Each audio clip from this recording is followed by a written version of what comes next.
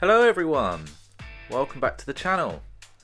Uh, sorry it's been a while since my last update post. I've been trying to work out my scheduling for all of our social media and business developments, of which we've got some really big news coming up and that I'm really looking forward to sharing over the coming weeks. So on to today's video. Many of you will remember the large Desert Afrika Korps commission I've been working on for a client. A large part of the collection has been completed and sent back to the client as he had a Tank Wars tournament, I believe, and uh, needed some of the models back. Uh, but I thought I'd showcase some of these pieces, and I've got some still photographs which I'll also add at the end of the video.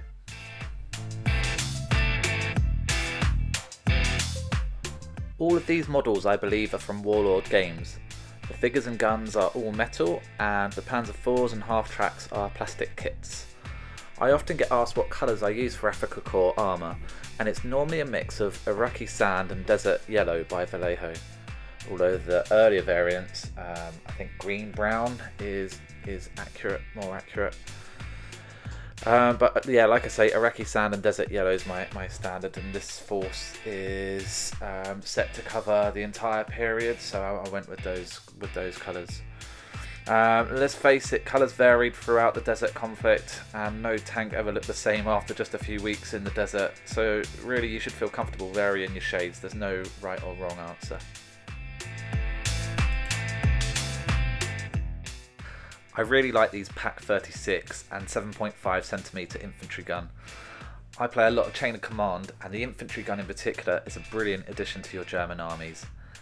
The sandbags are a nice addition provided by the customer as he wanted the guns to have an entrenched look. I think they look really cool.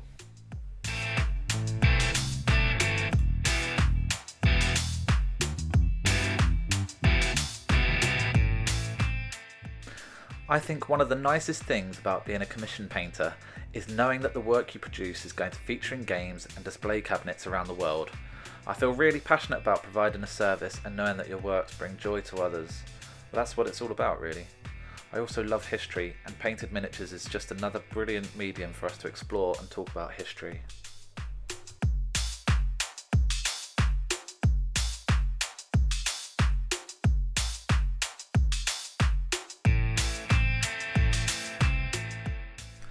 The Panzer IV tank uh, at the back there uh, uh, were a staple of German armoured forces during World War II and they hold a prominent place in military history as one of the most versatile and widely, widely produced tanks of its time. Designed as a medium tank by German engineers in the late 1930s, the Panzer IV underwent numerous upgrades and modifications throughout its service life, evolving to meet the changing demands of the battlefield.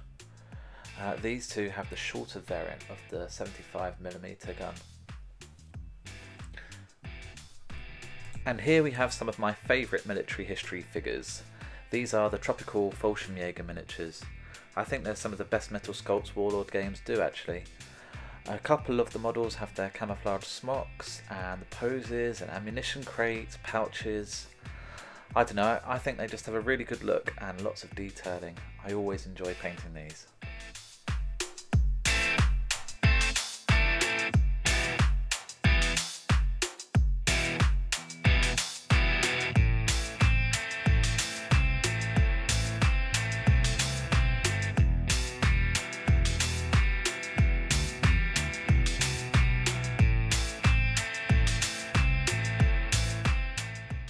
Now, I might be wrong, but I don't believe this model actually took part in the African campaign.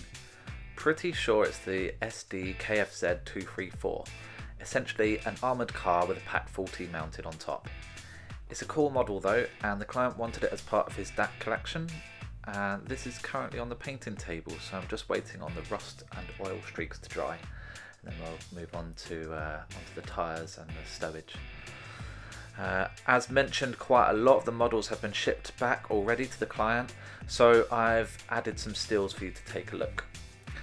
Thanks for checking in on our channel though, and as mentioned, we have lots of news coming up, so keep an eye out for our announcements in the coming weeks. Uh, take care for now though, and we'll see you at the next one. Thank you very much.